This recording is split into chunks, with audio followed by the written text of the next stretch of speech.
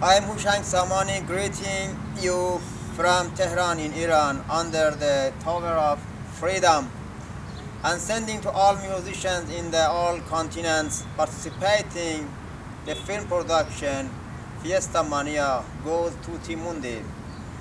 My deepest respect. Special thanks to our huge orchestra leader, Mr. Ekrem Sajdik from Serbia.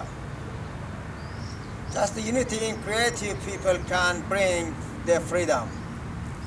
Bravo Ekrem. This world needs people like you.